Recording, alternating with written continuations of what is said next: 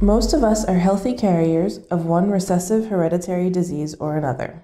This is not a serious issue as long as our partner does not have a mutation in the same gene. When this happens, it is serious because our children will have a 25% chance of inheriting the disease, and half of all babies born will be carriers. The latter will not suffer from the disease themselves, but they will pass it on to their children. The continuous research work carried out by Instituto Bernabeu means we can currently detect over 600 genetic diseases thanks to the, to the genetic compatibility testing also known as genetic screening for recessive disorders. All that is required is a blood sample in order to analyze the diseases. Some, such as cystic fibrosis, various forms of paralysis, deafness, diabetes, muscular atrophy, and epilepsy, have a particularly significant impact on the sufferer. Genetic diseases are responsible for 20% of infant deaths. This is why prevention is so important. Genetic compatibility testing is based on next generation DNA sequencing.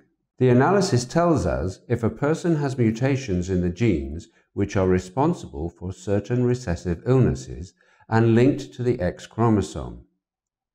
Once detected, this information can be used in order to avoid transmission. Both the father and the mother need to do the test, since it is a combination of the mutations in both that can lead to a child being born with a genetic disease. At Instituto Bernabeu, GCT is carried out on all donors, both egg and sperm, as part of protocol, and it does not imply any additional cost for the recipient couple. This enables us to exclude donor candidates who are carriers of the 600 most common diseases. In order for the test to work, the partner providing the gamete also needs to undergo GCT in order for any matches with the donor to be ruled out, thus ensuring that the future baby is born healthy.